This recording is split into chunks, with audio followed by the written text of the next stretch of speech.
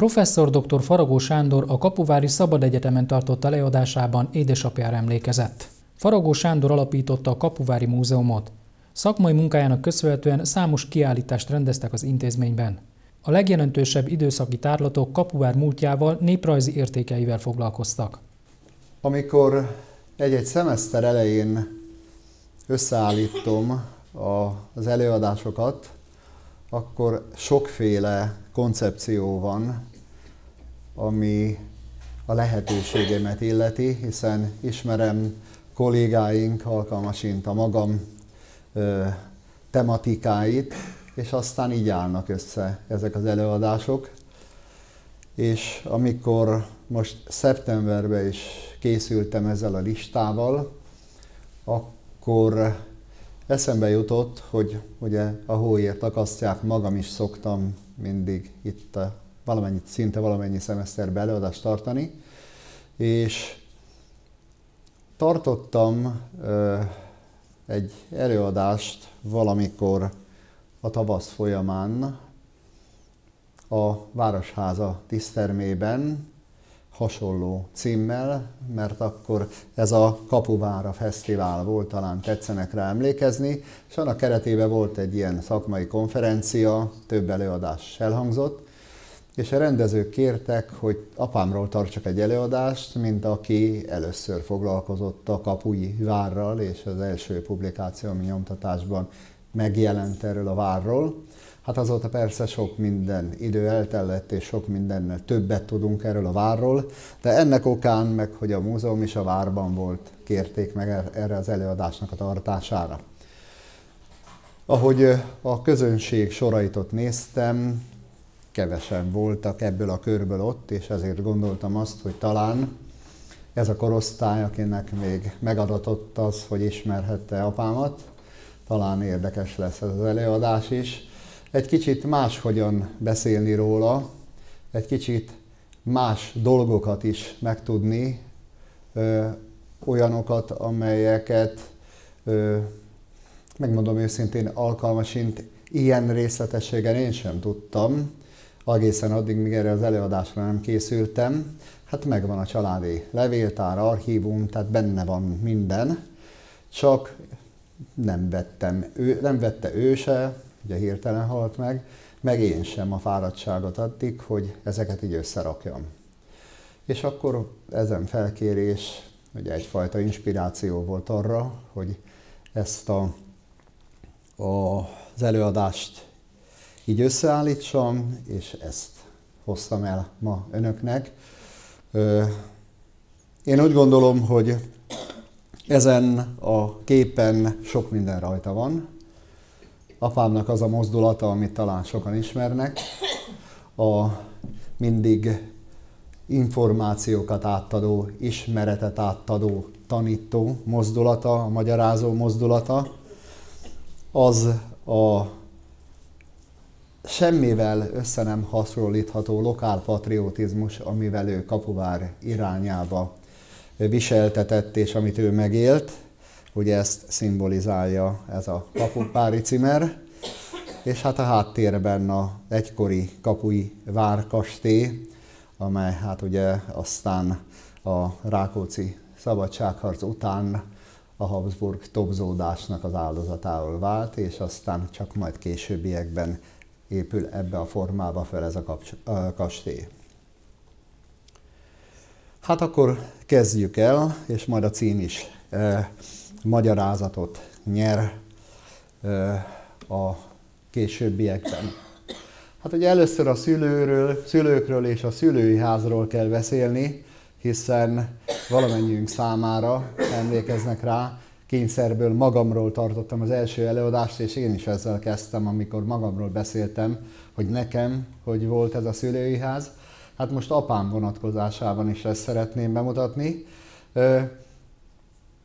A bal felső képen a Kapuvári Elemiskola tantestülete van, mindjárt a bal szélen pirossal bekeretezve Faragó Sándor, mellette Kis Gyula, Kovács Ferenc, notabene apám keresztapja volt, Lakos Béla, Kerényi Ignác igazgató, Pappvendel és Burgolis József. Azt hiszem, hogy ezek a nevek mindenkinek sokat mondanak, akik kapuváriak, hiszen tulajdonképpen én is mindenkit ismertem közülük, tehát akkor önök is ismerhették őket. Persze nagyapámat nem, hiszen ő korán meghalt. Ebbe a házba laktunk mi is, és nagybátyámék és Faragó Jánosék is. Ez ugye az egykori Nagy János köz, a Deák Ferenc utca 1-es szám volt a Csala fényképész mellett, ha, minden, ha más, ezt biztos, hogy mindenki tudja, mert akkor ez az egyik egyetlen fényképész volt Kapuváron. Hát most meg ez a nemzeti dohánybolt, meg ilyenek vannak ebben az épületben. Jobb oldalt nagyapám, aki 1893-tól 1935-ig, tehát rövid élt, tehát rövid élet adatot meg neki.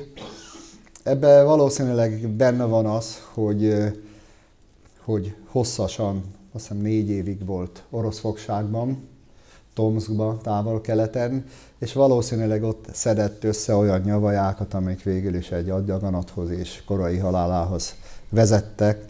Ugyanaz operálta ő Budapesten, mint aki Karinti Frigyest is.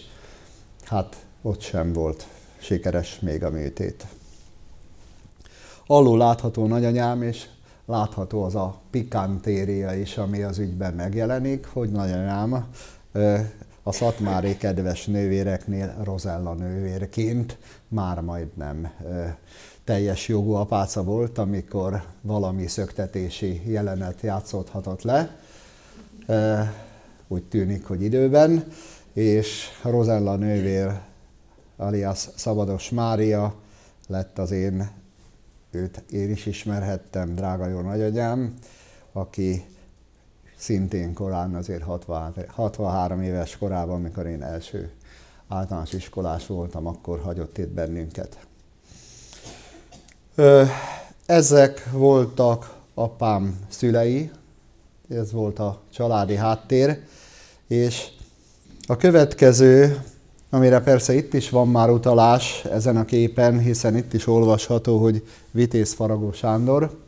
Erre a következő kép ad azért egy kis magyarázatot, ami a család jövőjét tulajdonképpen meghatározó kérdés volt, és itt talán olvasható is, hogy ez a, hiszem a rábaközi hírekben jelent meg, ugye az első világháború idején, ugye annak is jubileumát üljük, hogy Faragó Sándor csapodi tanító, Faragó János kapuvári járásbírósági szolgafia azt mondja, hogy a kárpáti harcokban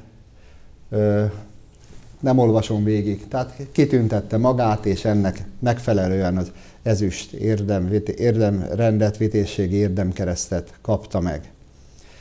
Ezután mondom, hogy fogságba került, és fogságból több év ö, ö, után érkezett haza, és ezen hő, hőstettének ö, alapján 1923. június 17-én Budapesten Horti Miklós vitézzé avatta, és ez a következőkben az ő számára és a család számára is egyfajta igazodási, erkölcsi igazodási alap volt. Ezt a ö, vitézi oklevelet dolgozószobámban mind a mai napig őrzöm, ami az eredeti vitézsége a családnak. A hadifogságból való hazajövetel után, ez ugye láthatóan 1923-ban volt, tehát ez egy hosszú hadifogság volt. 24. szeptember 26-án született itt Kapuváron édesapám, aki elemiskolai tanulmányait Kapuváron végezte, akkor már értelemszerűen abban az iskolában, amelyikben az édesapja is tanított. Ez a mai Báli Szent Vince gimnázium, notabene én is ebbe az általános iskola, én is ebbe az iskolába jártam, és öcsém is ebbe az iskolába járt. Ugye, mint minden iskola, akkor egyházi iskola volt, ennek megfelelően egyházi alapú neveltetésbe részesült, amit azért úgy gondolom, hogy különösen nagyanyám, akit volt szerencsém mondom ismerni, és aki apáca jelöltből lett apámnak az édesanyja, ezt az egyházi nevelést ezt különösen erőteljesen elősegítette. A, az elemi iskola után 1935-től Győrben a Cucor Gergely Bencés gimnáziumba folytatta középiskolai tanulmányait. Ez, ugye ismerjük, Széchenyi téren van, most a sajtóba olvashattuk, a Ferenc pápa most szentelte meg a harangjait, tehát ez, ezekben a tornyokban fognak lakni ezek a harangok. És az első két osztályt ott járta, itt a csoportképen ez a kis, hát innen nem biztos, hogy látszik, ez a kis kopasz gyerek, ő a apám, és hát cserkész egyenruhába értelemszerűen, hiszen akkor ez volt a, az ifjúságnak a szervezete. És hát ismerősek a bizonyítványai is, megvannak ezek a családi levértárunkban, és a Bencés gimnáziumnak a értesítőjébe, régi szép időkben, minden évben az iskolák értesítőt adtak ki, olvasható az előmenetel, és hát elég jó ez az előmenetel, még mai szemben is. Ugyanakkor azért érdekes, hogy például rajzból volt közepese a második osztályba, ami hát persze készségtárgy, én ezt én tisztában vagyok vele, tehát a többi tárgyból általában jeles rendű volt. És akkor meghalt nagyapám, és hát nem volt egyszerű egy özvegy asszonynak, még akkor sem, hogyha vitézi juttatások jártak ehhez a vitézi címhez, tanítatni a gyereket. A gyerek tehetséges volt, tehát tanítani kellett, és ekkor életbe lépett az a nagyon jó rendszer, ami akkor már működött, hogy a tanítók gyermekei, azok gyermekeiket segítették, hogyha a szülő meghalt, és Kecskeméten volt egy kegyes tanító rendi, tehát piarista árvaház, ahova hát a akkor most ezek szerint hetedikes gyerek, a mai ö, évfolyamnak megfelelően elköltözött Győrből, illetve Kapuváról, és az gimnázium hat osztályát aztán ott fejezte be, és ott érettségizett. Ebben a kegyes, ez a kegyesztelenítő rendi árvaház együtt működött a Piarista gimnáziumban, a ma is működő híres Kecskeméti Piarista gimnáziumban. Tehát ez volt az az időszak, amikor még távolabb kellett, hogy kerüljön a szülői háztól, és ez a 37-től 43-ig terjedő időszak én úgy gondolom, hogy talán az egyik legszebb időszaka volt apám életének, hiszen nagyon sok eh, élménnyel, hiszen kollégisták ugye internátusba eh, laktak, nagyon sok élménnyel gazdagította őt, és hát én emlékszem gyerekkorunkban vasárnap délután vagy ebéd után eh, elköltve az ebédet, sokszor mesélt azokról az időszakokról, hogy milyen jó dolgokat, meg mennyi csibészséget is csináltak, mint féle középiskolások, gimnazisták az iskolában. Egy ilyen csoportkép látható a bal oldalon, és hát megint csak az indexek és az értesítők, és hát látható, hogy végig eminens tanuló volt, tehát egyesek tömege, olykor, olykor egy-egy-kettes, tehát ugye akkor fordítva volt ez az egész világ, és ezeket kiolvashatjuk valamennyi évkönyvből, ebből az időszakból, és eljutunk a nyolcadik osztályig, és a nyolcadik osztályban e, apámat is vitézé avatták. A vitézé avatás ott már a háború időszakában nem volt olyan színpompás, és nem volt olyan felemelő, mint korábban, amit rendszeresen ugye Székesfehérváron tartottak, és a kormányzó maga ütötte, vitézi az embereket. Ez a dokumentumot, ezt ott Kecskeméten az ottani vitézi széknek a vezetőjétől vehette ő át ott a városházán. Ugye ennek a kecskeméti időszaknak, ha megnézzük a dolgait, akkor érdekes olyan dolgokat is találhatunk, amikre kevesen gondol az ember, de azért, hogy előkészíti egy-egy embernek az életét. Az évkönyvekből, meg a feljegyzésekből, vagy megmaradt dokumentumokból azért össze lehetett állítani, hogy 37-től 43-ig végig énekelt a gimnázium énekkarában. Először ugye kisgyerek még szopránként, aztán tenorként, utána pedig hát a többlet feladatokat is vállalt. Ugye volt ilyen, hogy önképzőkör, meg volt ilyen, hogy különböző pályázatokat írtak ki. Hát gondolhatjuk, hogy egy özvegyasszony gyermek, aki nem volt nagyon jól ereszve otthonról, ezek a pályázatok számára azért a többletforrásokat jelentettek, és megkönnyítették a családnak a gazdasági hát, megterheltségét.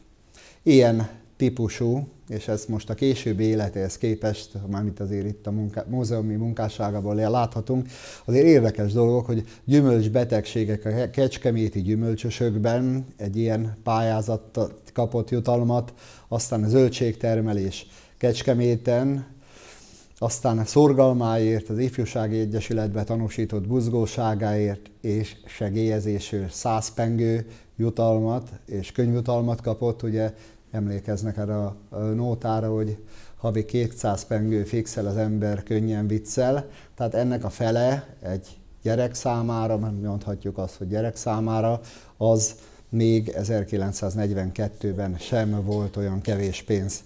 És hát aztán 42-43-ban már át megy a témaválasztás a történelem irányába, és Kecskemét város Rákóczi pályázatán Gróf Bercsényi Miklósról értekezik, és nyer 50 pengő jutalmat a várostól. Ennek a dokumentumai találhatók itt, de még a jobboldali emléklap például arról szól, hogy a 80 ö, szó ö, tagú gyors író kurzust is elvégezte, és azt is, abban is, azt is le, abban is vizsgázott és levizsgázott. Persze emellett, a tanulmányok mellett még egyszer mondom, mindenféle önképző körben szerepelt itt például egy tánccsoportban látható disz magyar kában, mert hát ugye gyerekek voltak még pirossal bekeretezve, vagy a Széchenyi ünnepség emlék műsorának a köszöntőjét, illetve itt lát, talán lát, hát nem látható. Az előadást tartja Széchenyi Istvánról, aztán olyan rendezvények, műsorok, ahol ő konferált például, megmaradt ez a jobb alsó műsor füzet, tehát a korosbodó fiatal, majd idősebb gimnazista széles tevékenységet folytat a gimnáziumba, és hát elérkezik 1943 az érettségi ideje.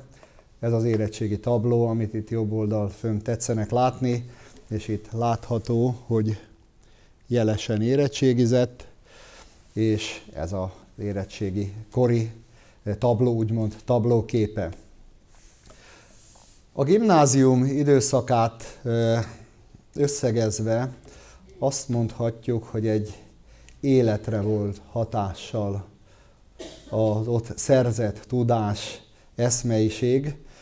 Ennek néhány bizonyítékát szeretném mondani, két olyan levél, amelyet egykori igazgatójától, Szomolányi Józseftől kapott, amikor gratulál neki, majd később elmondott doktori értekezéséhez és ledoktorálásához.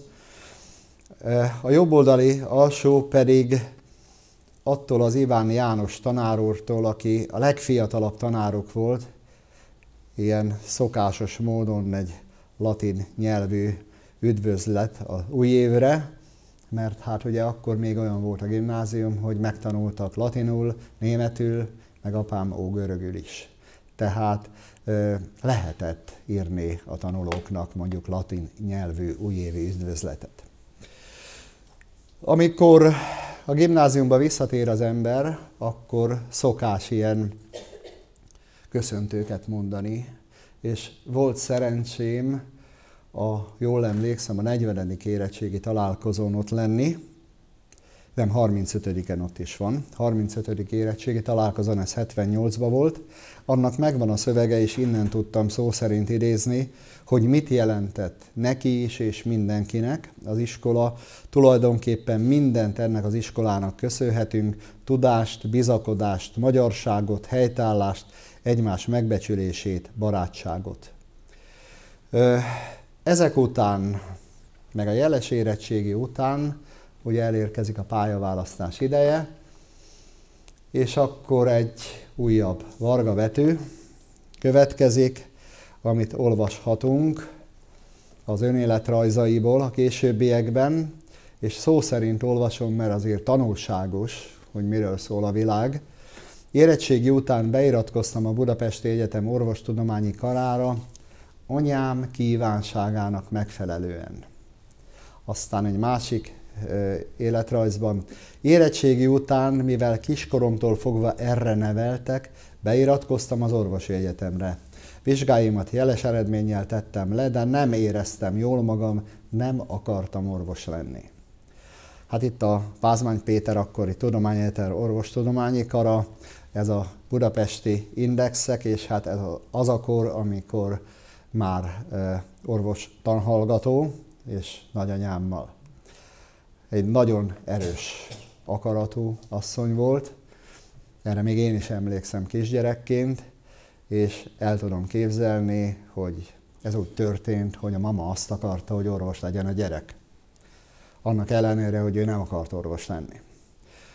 Ugye aztán jön a háború, és látjuk a dátumokból, ha visszamegyünk, 44, és hát ugye Budapest ostroma és a, az orosz bevonulás, és akkor hazajön. Már előtte befejeződik a tanítás, és arra én emlékszem, hogy szoktam mesélni, ha jól emlékszem, akkor Forin főorvos úr volt, akkor a kórház igazgató és a sebész főorvos, hogy ő mellette, meg szombathelyen is volt gyakorlaton, de háború alatt itt volt. Hát nem volt orvos. A két éves medikusokat is behívták, hiszen az orvosok is fronton voltak a katonakórházakban, a mozgó kórházakban. Tehát itt kellett neki dolgoznia ebben az időszakban a kórházban. Aztán 45-ben át jelentkezik a Pécsi Egyetemre, hát nem kell nagyon mondanom, hogy a háború után milyen kifosztott világ van országos szinten is, meg a családok szintjén is. Azért Pécsre történik az áttelepülés, mert Szabados nagyanyám, tehát a Faragó nagyanyámnak a testvére, a Szabados László, a Herceg Eszterházinak volt erdésze Len Boronyában, és hát kedvenc unoka bátyja és unoka öcs volt, jóval fiatalabb volt, mint nagyanyám, majdnem ap- apámmal egykorú, ezért nagyon jól megértették magukat fiatalkorukban is, és hát úgy tűnt, hogy ott a családi segítséggel talán könnyebben lehet átvészelni ezeket a nehéz időszakokat. Írtja is, hogy Pécseket olcsó volt a megélhetés, és rogonaim is éltek ott. Azonban ez se segített, tehát nem lehet a nem akaromot a végtelenségig feszíteni, és abba hagyta az egyetemet. El tudom képzelni nagyagyámnak a hozzáintézett szövegeit, de hát ha valaki valamire nem akarja feltenni az életét, akkor nem akarja. És azért is volt ilyen egyszerű ez a döntés, mert hát nem volt pénz. Nem volt ennivaló, azt mondja, próbált pénzt keresni, de nagyon sokat nyomorogtam, írja egy későbbi életrajzában. Hát ezt tudjuk, hogy mi volt a 45 utáni abszolút tönkrement gazdaság, utáni tönkrement gazdaságban. Nem volt egyszerű ezután az élete, Kezdetben magántanítványaim voltak, később a legkülönbözőbb munkakörökbe dolgoztam Kapuváron, voltam adminisztrátor és könyvelő, bérelszámoló és gépjárő előadó, nem találtam a helyemet az életben, írja. 1952-ben vette el édesanyámat feleségül, és ekkor volt az, amikor Baranyába költöztünk, vagy költöztek, mert hát akkor én még nem voltam, és Komlón helyezkedett el a Trösztnél. Ott dolgozott édesanyám, és ott lakást kaptak, és úgynevezett kievelt fizetés volt, hiszen az egy stratégiai dolog volt ugye a bányászat, különösen a háború után, és ez se tetszett értelemszerűen. Hát ez egy átmeneti világ volt. Először Cseprekbe, másik nagyszüleimhez, utána pedig 56 közepén hazaköltöztek Kapubárra. Három év az itthon tartózkodás során az ilyen váltakozó alkalmi munkákkal telt el, mert hát, mint olvastuk, nem találta a helyét az életben. De mielőtt a hely megtalálásról beszélnék, azért elmondanám, hogy miért állhatok én itt mert hogy 52. november 16-án Cseprekben kötött házasságot édesanyámmal, és ugye itt látható a leköltözés Baranyába, először ugye Sásdon, majd Komlón, és ezért születhettem én 53. augusztus 13-án Pécset, a gyermekklinikán. Ez az ottani születésem utáni Hát azt nem mondom, hogy karácsony, mert azért karácsonyra még nem biztos, hogy ekkora voltam, de hát ez a néhány hónapos időszak volt.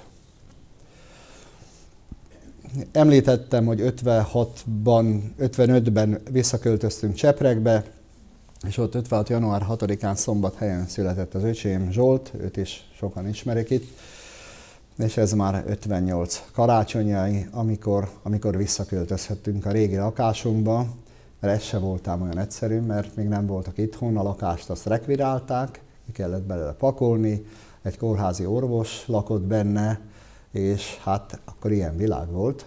Majd amikor visszajöttek, akkor ö, nagy nehezen vissza tudtunk költözni a, a lakásunkba. És hát ez már a későbbi ö, családi fotónk, és ez az az utca körülbelül így nézhetett ki. Jerkó Gyulának a kiváló könyvéből vettem ezt a fotót, ezután is köszönet odaírtam, hogy tőle származik, akkor én még nem fotózhattam, tehát tőle ö, ö, mentettem át ide ezt a fotót.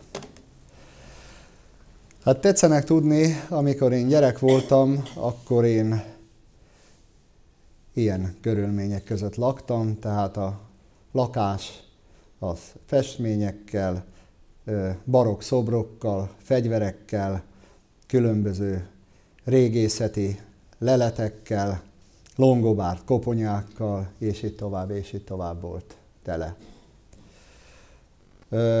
Mert ez volt az ő igazi világa. Tehát a, világ keresése közben, erre majd mindjárt leírom, vagy, vagy mutatom, hogy mit írt annak idején, azt írta, akkor ideérem.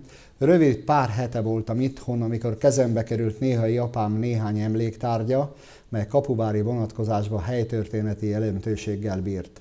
Ekkor határoztam el, hogy életemet, minden erőmet annak szentelem, hogy szülővárosom múltjának minden felelhető emlékét összegyűjtöm. És megkezdtem a munkát, amelyet több év távlatából nézve is úgy tekintek, mint ami értelmet adott életemnek. Ugye innen van az előadásnak a címe. Sokan segítettek, sokszor is vallottam kudarcot, de négy esztendővel később csak megnyílott a múzeum. És hát tessék megnézni az alsó két képet, ugye Gartán a postával szembe volt az ipartestületnek a kultúrterme, az idősebbek talán emlékeznek rá. Ott volt az első kiállítás, Kapuvár és Modva is a jelentve, és hát ki más lehetett volna a kiállítás megnyitója, mint a jó barát Mihálka Jenő. Teszem hozzá az egyik ugye a gimnázium alapítója, a másik pedig a múzeum alapítója, és hát azt gondolom, hogy halálán túlmenően, mindkettőjük halálán túlmenően is ez a kapcsolat fennmaradt a családok között is. Hogyan jöhetett létre a múzeum? Azért múzeumot gründolni se olyan egyszerű dolog, segítség kell hozzá, hiszen ez egy szakmai tevékenység, és itt három patronusra szeretnék emlékezni. Talán Csatkai Endre a neve a legismertebb, aki a Soproni Múzeumnak legendás igazgatója volt. Aztán az ő utóda Domonkos Otto a múzeum igazgatóságban is, és nem különben kiváló, nagy tudós néprajzos lett Otto bátyánk, hál' Istennek ő még köztünk van, nem különben Nováki Gyula, aki régészet vonalán dolgozott, magam is számtalanszor voltam vele és apámmal együtt régészeti feltárásokon, Soproni Múzeum régészen, majd pedig a mezőgazdasági múzeumban dolgozott egészen nyugállományaig. És akkor az első állandó kiállítás és a múzeum elhelyezés 1960-ban megtörtént. Nem véletlenül van itt a Várkastély épülete, hiszen a kiállítás, amelyiken látható, hogy a beszédet azt Csatkai Endre mondja, ott a jobb válla fölül Rassler Mihálynak a képe látható, aztán mellette Szabados Gyula, ugye egyik a párbizottság, a másik pedig azt hiszem a járási tanácsnak az elnöke volt, a Szabados Gyula apám, és hát az öcsém is ott látható, már ő is akkorára megnőtt addigra. A munka megkezdődött ebben az időszakban. A régészeti, néprajzi, helytörténeti gyűjtemény folyamatos fejlesztése. A baloldali képeken, bal felső képeken különböző leletmentési, ásatási felvételek történtek. Talán emlékeznek rá az első előadáson, amikor magamról beszéltem, ez volt az adott motiváció, amikor majdnem úgy volt, hogy én is régész leszek, hiszen ez egy egészen különleges világ. Tehát a felfedezésnek az a semmi mással nem helyettesíthető dolga, amikor különösen amikor temetőt tárnak fel, hogy több száz ezer vagy több ezer éves emberek megfogható maradványaival szembesül az ember azzal a világgal, amiben ők értek. Tehát ez vonzó volt, gondolom az ő számára is, és az én számomra is. És hát ezek a gyűjtemény, gyűjtési eredmények, ezek a múzeum raktáraiba kerültek. Jobb oldali képen édesanyám éppen e, ilyen e, koraközépkori edőnyeket e, kontrollál, valami papírt nézogat a kezében. E, és hát az is olvasható, hogy kezdetben a édesapám és édesanyám működtették a múzeumot, amelynek azért voltak már mindjárt az elején olyan feladatai, például baloldali urat nem biztos, hogy mindenki ismeri, Masler Jenőnek hívják, aki a Csala Bálintni fényképésznek a egyik házasságából, mert több volt neki, született fiúgyermeke, aki éppen egyetemi diplomájához gyűjtött anyagokat, és itt volt gyakorlaton a múzeumban. Hát a középső képen gondolom találnak ismerősöket, apámon és anyámon kívül, aki így félfordulattal ül, az Mihálka Jenőné Briginéni, és a, a álló az pedig az ő testvére, akkor éppen ben voltak a múzeumban, ez a kisgyerek meg az öcsém ugyancsak. Tehát megindult a tudományos munka, a tudomány népszerűsítő munka, a szakdolgozatoknak a e, itteni támogatása, és e, ez fontos e, volt a múzeum indítása és megmaradása szempontjából, hogy ilyen munka történjen itt. 1960-ban költözött a múzeum a vár két fölszinti szobájába, ugye a belsejét már láttuk. Itt pilos vonalakkal jelzem mindig a vár épületén, hogy melyik ablakok voltak a múzeumnak az épületei. Ez is egyfajta evolúció volt. 1964-től kiállítás volt az északi árkád sor alatt, akkor ugye beüvegezték ezeket az árkádokat, és ott lett ez a kiállítás. Nem tudom, most nincs már a kiállításban, itt vannak például azok a egy, egy ilyen nagy facöröp, amire építették a várat annak idején, tehát azt tudjuk, hogy a mocsaras területeken rengeteg ilyen facölöpre alapozták, lásd Belencét, vagy a nagy vízre épült városokat. Hát így volt ez a Kapui vár esetében is. Ez látható a külső képen is. Ugye utána 69-ben a várnak a mostani főút felüli oldala alsó emeletét, vagy alsó szintjét kapta meg a múzeum tulajdonképpen azt, ahol most is működik. És 1963-ban végre sikerült az, amit mindig is akart, hogy elkezdett egyetemre járni, és 63 és 67 között járt a Ötvös Lorán Tudományegyetem Bölcsészettudományi Karán történelem szakára. Hát hamar rájöttek arra, hogy egy olyan ember, aki tudja, hogy mit akar, az nem, és esze is van hozzá, akkor nem feltétlenül kell hat év alatt megcsinálni az egyetemet. Ezért aztán a második, harmadik évfolyamot, illetve az ötödik és hatodik évfolyamot összevontam, végezte el, tehát a hat évet négy év alatt. Hát nagyon nem kell talán mondanom, itt vannak a fél éveknek az eredményei, hogy ez elég jó átlagok. Igaz, Attila, ez mint friss ilyen végzett diplomás ember tudja, hogy azért meg kell küzdeni ezekért az eredményekért, és hát a jobb oldalin az államvizsga dolgai láthatók, csak innen tudom ezt, mert ezek, megvannak az indexek is, de kikértem az eltéről a törzskönyveket, és hát abból vannak itt bekeretezve, hát most kivetítve, ilyen kicsiben nem nagyon látható, de ezek a, a átlagok vannak ott bekeretezve. 1967. szeptember 23-án pontosan 43. születésnapján jeles minősítéssel szerzett oklevelet. Pontosan a születésnapján kapta készhez. Ott voltam, amikor ezt megkapta. Tessenek jól megjegyezni a dátumot, 1967. júniusa, és olyan frappánsan sikeredik a dolgozata, hogy 68 májusában, tehát még egy év se telik el, és sikeresen megvédte Kapuvár és közvetlen környékének története Mohácsik című doktori értekezését, és szeptember 28-án Summa Cum Laude bölcsész doktorra avatták. Van ennek a doktorálat és elvatási képnek két érdekessége. Azon túl, vagy három akkor, hogy apám köszönte meg a doktorálvatottak nevében a avatást. Van még egy kapubár érdekessége, itt Horváth Terézia a válla fölött látható, aki Kapuvár néprajzából írta a doktori értekezését. Ez a mi szakmai érdekesség, ami a bulvár, ez pedig Berec János elvtárs itt, aki 56-os ellenforradalomról írta a doktori értekezését, ez volt a címe neki.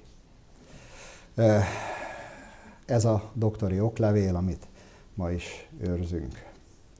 1970-ben nyílt meg új helyen a múzeum új állandó kiállítása. Talán ezekre a termekre még mindenki emlékszik, hiszen ezek voltak az igazán első jó múzeumi kiállítások, különböző korok, különböző területek, enteriőrök, belsők, néprajzi vagy polgári szoba, régi kor vagy legújabb kornak a képeslapokban is kiadott emlékei. A múzeumnak ugye mindig van állandó kiállítása, mint ahogy most is van a múzeumban állandó kiállítás. De az állandó kiállítást az alkalmasint évtizedre vagy évtizedekre készítik, de a múzeumok működésének mindennapi tudományos szakmai tevékenységének azért a Sava Borsa az állandó kiállítás mellett az, iga, ig, az időszakos kiállítások voltak. Édesapám működése alatt, igazgatói működése alatt csak nem száz időszaki kiállítást rendezett. Ezek a kiállítások tulajdonképpen a múzeológia valamennyi területét, a múzeum valamennyi gyűjtési területét felölelték, mindig lehetett valamilyen aktuális jubileumhoz kötni, illetve nagyon sok művészeti, elsősorban képzőművészeti kiállítás is volt a múzeumban, helyi vagy megyei kiváló festőknek, szobrászoknak a kiállítása került megrendezésre ez alatt az időszak alatt. Csak hogy néhányat említsek, például Áldozó József, igen kiváló autodidakta parasztfestő volt, apám volt az, aki fölfedezte tulajdonképpen, 61-ben volt az első kiállítása, és hát annyira felfigyeltek rá a művészettörténészek, hogy magam is láttam, hogy a Nemzeti Galériában is vannak képei Áldozó Józsefnek, hagyatékból, apám hagyatékából nekem is van áldozóképem. A múzeumnak aztán szokásos rendezvényei voltak a múzeumi hónapi rendezvények. Itt egy programot láthatunk középen, illetőleg nagyon nagyszerű dolog volt, hogy a néhány éves múzeum az országos múzeumi hónapnak az egyik fontos rendezője volt, és annak idején az önkéntes tűzoltó egyesületek, tehát a Kapuvári Önkéntes Tűzoltó Egyesületek emlékeiről készült egy nagyon kiváló kiállítás, és majd a későbbiekben mutatom, egy nagyon kiváló könyv is született a kapuvári tűzoltás történetéről. És ezzel kapcsolatosan csak a pedagógiát szeretném elmondani önöknek, hogy ez a 60-as évek eleje, még kisiskolások vagyunk tulajdonképpen. Mi minden karácsonykor, Szenteste napján délután kiszoktunk menni a temetőbe, és hazafelé jövet, amíg gondolom édesanyám díszítette, vagy hát tudom, díszítette a karácsonyfát, akkor mi tettünk egy kitörőt a tűzoltóság felé. Azóta, mióta apám ezzel foglalkozott, és megismerte a tűzoltás munkáját, és mi a Szenteste délutánján mindig elmentünk a tűzoltóknak áldott ünnepeket kívánni, és kifejezni a tulajdonképpen az volt az üzenet, a nagyra becsülésünket, hogy ők akkor is dolgoznak és szolgálatban vannak, amikor mi ünnepelünk. Ez egyfajta ilyen pedagógiai attitűdje volt a, ennek a kiállítás rendezésnek, vagy ennek a tudományos munkának. Aztán a következő dolog, amit említeni kell, az Pácai Pál. Pácai Pál ugye kapuvári születésű, kétszeres Kossuth Díjas szobrászművész, nagyon sok szobra díszíti napjainkig és országunk különböző nagyvárosainak tereit, és a kapuvári születésű Pácai Pált apám megkereste, és hát praktikusan emlékeztette a gyökereire. És ettől kezdve egy hihetetlen szoros családi, baráti kapcsolat alakult ki, olyannyira, hogy én egyetemistaként Valdembe pácaiéknál nyaraltam mondjuk a nyári időszakban, és hát ugye azért az egy, egy gyereknek, vagy egy ifjú számára az egy nagy dolog, hogy este mondjuk kik jönnek vacsorázni Pácaiékhoz, és mondjuk Kolozsvári Grand Pierre Remillel vacsoráztunk ott együtt, és beszélgettünk, és barátkoztunk, és hát ugye ben voltam a képzőművészeti főiskolán, ugye akkor még így hívták, bemutattak és bemutatkozhattam kiváló művészeknek, ami ugye az én világomat is tágíthatta, tehát ez ezek az ismerettségek, ami apám számára természetesek voltak, ezek számomra egyfajta lehetőségként csapódtak le. És hát, ugye majd látni fogjuk, megszületik a, ö, először csak a pácai szobroknak néhány eleme, mint kiállítás, aztán tisztelet a mesternek címmel egy gyűjteményes kiállítás, kiváló pácai tanítványok gyűjteményes kiállítása, aztán közülük a legjobbak közül például a Ráceditnek, vagy a Domonkos Bélának, a Bélának ma is él, múlt héten beszéltem vele, több szobra is van itt Kapuváron, ugye a karikázónő, meg ezek itt az iskolák előtt. Tehát őnekik külön kiállításaik és kiállítások is voltak, és hát ez a pácai kiállítás, ami 1976-ban nyílott meg, ugye az egykori lókórháznak, vagy állatkórháznak a, az épületében. Azért én elhiszem, hogy ezt nehéz föntartani, és most a Hagyistó Kerékpár Központ pincéjében vannak ezek a szobrok, de ez méltatlan, azért lássuk be.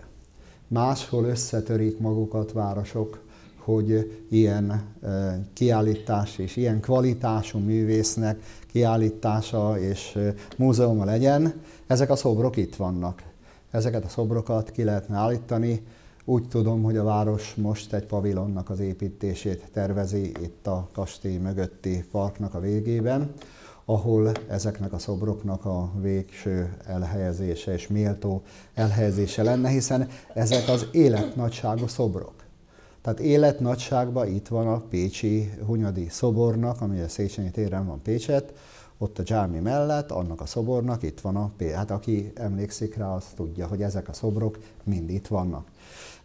Tehát én úgy gondolom, hogy ez a következő feladat a múzeum rehabilitációjában most ugye egy nagyszerű kiállítás készült, tehát ez a része és a múzeum belseje nem régen voltam rendben van.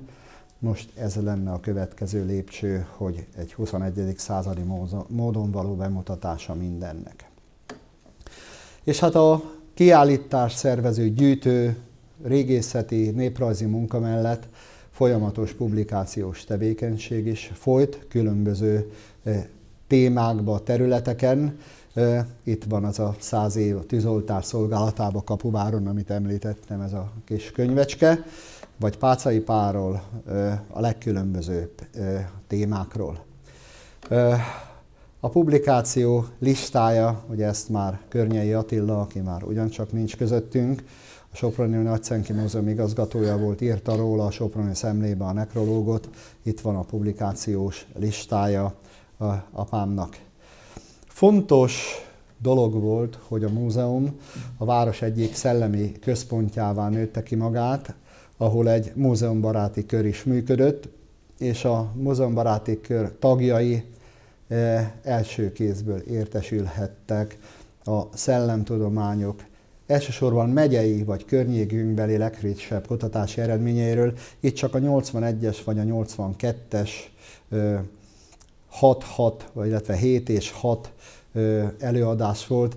Kicsit azt kell, hogy mondjam, hajaz erre a mi nyugdíjas egyetemünkre, vagy Kapuvári Szabad Egyetemünkre, hiszen az ősi hitvilág elemeiről, Timafi Lászlótól, miket őriz a Soproni levéltár, Horváth Zoltán néhai levéltárigazgató, aztán apám a Kistörfei Árpádkori telepről és a Kapui várról, céhes emlékekről Domonkos Otto, Széchenyiről Környei Attila, múzeum raktárainak bemutatása, vagy vaskohászati emlékek Gömöri János doktorral. És sorolhatnám, tehát olyan érdekes előadások, múzeumhoz köthető érdekes előadások voltak, amelyek azt hiszem, hogy ö, szélesítették az érdeklődők körét, és hát sokan is voltak, akik jártak erre a, a múzeum baráti körre. És hát emellett ugye közéleti tevékenységet is folytatott apám. Itt három, vagy illetve precízebben két dologról beszélnék. Az egyik a, ugye 1962-ben volt a város 1800 éves, tehát 1162-ben van az első levéltári dokumentum, természetesen az előtt is volt Kapui vár, csak akkor említik először. Ugye akkor került felújításra az Alexovicsnak, vagy beépítésre az Alexovicsnak, sokáig eltakart, most megint szerencsére látható a Deres című ö, ö, reliefje a vár bejáratában, amelyik ugye a kapuvári paraszt felkelésre emlékeztetett még a jobbátság felszabadítása előtt. Aztán 1969-ben város lett Kapuvár, nagy ünnepségekkel, ugye ezt ünnepeltük néhány évvel ezelőtt, a városság nyilvánítást, és arra egy ilyen ö, leporelló is készült, amit apám állított össze, Kapuvár város történetének jelentősebb évszámairól. Egyfajta összefoglalása annak, hogy milyen dátumokat érdemes tudni Kapuvárról és Kapuvárnak ennek a 800 éves történetéről. Hát itt ezen a képen is lesznek ismerősök, néhai Balsai László szavaz éppen a valamelyik tanácsi választáson, községi vagy városi tanács, ez inkább városi, mert már a Nagy András a tanácselnök, és apám megvannak ezek a tanácstagi igazolványa, 20 éven keresztül volt a tanácsnak a tagja, különböző szakbizottságokban működve. Vagy kenyérszegő szobor, amely szimbolikus szobra ma már Kapuvárnak felállításánál éppen a pápcai kapcsolat révén bábáskodott, és az is így módon valósult meg. Különböző rádiós vetélkedőkben volt zsűritag, mellette éppen a Győri Múzeumnak az igazgatója, de ketten ott fújják a pipát nagyban, talán ez a kép is mindenkiben megmaradt, hogy ő mindig pipázott.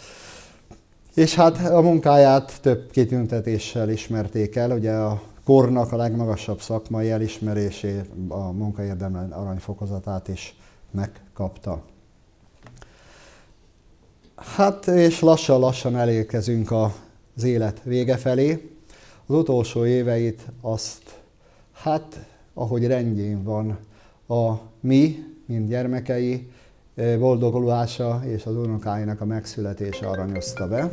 Hát ugye én 78-ban ősültem, az öcsém 81-be, és nekem egy fiam van, az öcsémnek egy fia és egy lánya van. Itt az első két unoka, akiket még a papa magához szoríthatott. Az én Sándor fiam és a Tamás fiú, a Zsolt öcsémnek a, a gyermeke. És hát így lassan elérkezünk a 80-as évek közepéhez. Az ő, hát tulajdonképpen azt hiszem, hogy a levelezés alapján nem igazán korrekt nyugdíjazásához. Nem tudom, nem derül ki ezekből a levelekből, hogy mi az oka, pedig hát az Országos Múzeumi Tanács főtitkára Antal József, aki jó barátja volt, igyekeztek segíteni, mindenki igyekezett segíteni, és mégis úgy gondolták, hogy egy nappal se tovább jó szerint, és 1985. április 16-án nyugállományba helyezték. Nagyon szépen elbúcsúztatták Dávid Lajos, Domonkos Otto és Környei Attila, de én úgy emlékszem, vagy úgy éltem meg én is, mint ahogy ő is, hogy ez egy óriási lelkitörést okozott neki. Gondjai voltak, egészségügyi gondjai, hiszen két sztrókja is volt előtte, és ezt ő befelé dolgozva nagyon nehezen élte meg, és hát ennek az lett a következménye, hogy 85. december 5-én 61 éves korában elhunyt. Ugye tulajdonképpen mindenféle elismerést ő megkapott, tehát még azt sem mondhatjuk, hogy a 61 éves kor az nem egy teljes életet jelentett, és sok mindent is tett, úgy gondolom. Ez jelezte az, hogy a megyei múzeum szervezet meg a városi saját halottjának tekintette. Kiváló újságíró, író barátja Gerencsér Miklós írt egy, hát inkább lírainak mondható nekrológot róla a kis alföldbe, és hát december 10-én, hát néhány nappal ezelőtt volt a temetésének az évfordulója, helyeztek örök nyugalomra, akkor még szülei mellé, azóta édesanyám is ott pihen mellette. Mivel fejezhetném én ezt az előadást be, mint azon egyik évődő levélel, ahogy egymással szoktak levelezni Antal Józseffel, a későbbi miniszterelnökkel, és közben láthatjuk ezt a táblát itt a város, úgymond a város kiemelkedő személyiségei között tartja nyilván a múzeumi kiállítás, apámat is, ez a szobor pedig a Pácai Tanítvány Domokos Béla szobra, ez pedig az én lakásom nappali szobájába ö, van, és ott figyel ránk, ránk minden nap. Azt mondja Antal József, hogy nagy jó uram, hálás lehet kegyelmednek ez az oppédium, mármint kapuvár, mennek szülötteit és halottait megörökíti az utókor dicsőségére. Nagy kár, hogy csak Balog József dédapám, született 1840-et, született Kapuváron, magam nem, így kevés esélyem van a fennmaradásra, hiszen nem mindenütt így tisztességes a lokálpatriotizmus. Isten áldja kegyelmedet, barátja és hívszolgája Antal József. Ebből két dolgot tudunk meg az ő viszonyukat, a későbbi miniszterelnökkel, aki most már ugye a történelem része, másik meg az, hogy Balog József dédapja Kapuváron született, tehát ilyen módon mindenki kapuvári, mint szoktuk mondani. Én azt gondolom, sajnos elég, pozíciómban elég sok vagy temetést, vagy megemlékezést, vagy legutóbb emléktáblát ö, ö, avattam, és van módom ilyen visszatekintéseket tenni. Az teljesen biztos, hogy csak azt hal meg, akit elfelejtenek. Persze a, a feledés az lehet egy közösség feledése, vagy lehet az egyének feledése. Én azt hiszem, hogy ez az emléktábla-szerűség itt a múzeumban, ez egyfajta közösségi emlékezés. Hát itt, akik meg itt vannak és ismerték őt, ők meg addig emlékeznek rá, ameddig élnek, feltételezem. Nekünk meg a gyermekeiknek, unokáinak, dédunokáinak az a feladata, hogy ezt a emlékezés lángot, különösen így adventáján ezt mi égbe tartsuk és világítson nekünk és az utódainknak is. Köszönöm szépen a figyelmet!